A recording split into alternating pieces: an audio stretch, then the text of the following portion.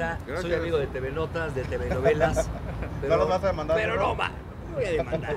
Son mis amigos. Les, les, di una entrevista increíble el otro día de, de, mi, de mi vida. Dos horas de entrevista y me dieron cuatro páginas. Y, y, bien, porque sacaron lo que, lo que les pedí, lo que soy como de Jordi y todo, pero... Les falló la fuente. Pero esta fuente sí les falló. No me, créanme, de verdad no me dolió y no estoy enojado con TV Notas. Es más, les mando un saludo muy grande. Carlos Flores y a toda la banda. Pero yo no, pero está mal contada. No, vuelvo a repetir, no me quitaron la exclusividad, se acabó en septiembre y la estamos renegociando.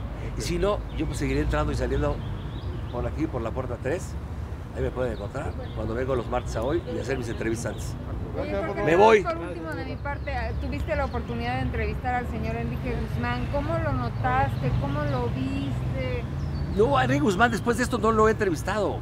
He platicado con él y, pues lo veo triste, obviamente. Lo veo triste porque, híjole, pero yo no puedo decir de qué lado estás porque no sé si fue cierto, si no fue cierto. Se me hace muy raro.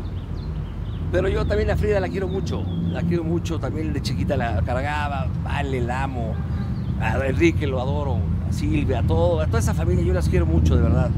Ojalá se arreglen esos temas, porque sí, sí están muy fuertes, se están dando por un hacha y duele, duele ver cómo se está desmoronando esa familia tan maravillosa que es.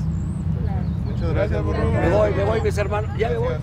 A ver, tómatela rápido, porque es en serio, me estoy esperando. Voy al Club América a hacer una, una están haciendo una, están haciendo una, no se la vayan a perder, una serie para Netflix.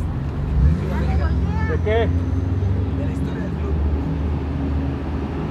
voy a, voy a entrevistar ahí dos horas. Okay.